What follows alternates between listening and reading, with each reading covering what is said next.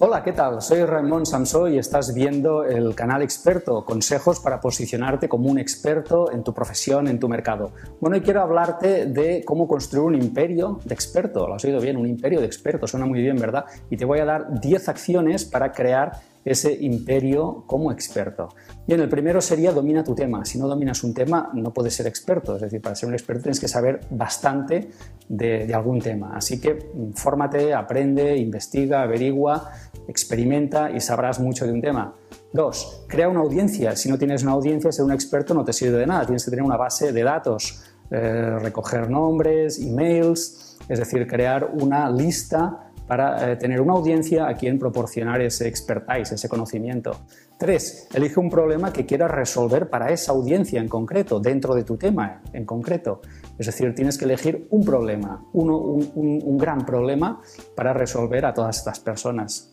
Cuatro, cuenta tu historia. El mejor marketing hoy día es el storytelling cuenta tu historia, cómo llegaste a eso, por qué te dedicas a esto, por qué te apasiona este tema, cómo encontraste la solución a este problema, etc. Pero cuéntalo con tu historia, que eso es lo que más motiva.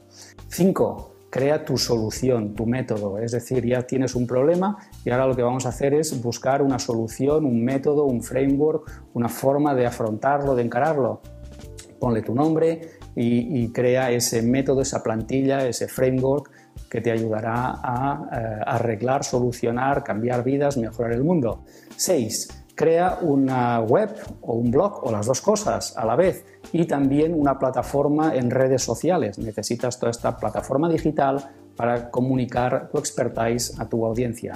7. Crea productos de experto, es decir, si eres experto en algún tema, eh, podrás crear no solamente servicios, sino también productos, algunos digitales, otros no, eh, que tengan que ver con la solución que ofreces a tu mercado, a tu audiencia y en el problema que tú resuelves. 8. Promociona tus productos. Tener productos o servicios no sirve de nada si no vas a promocionarlos. Así que lo que tienes que hacer es promocionar continuamente, hacer marketing, de todas estas soluciones, productos, servicios que ofreces a tu audiencia.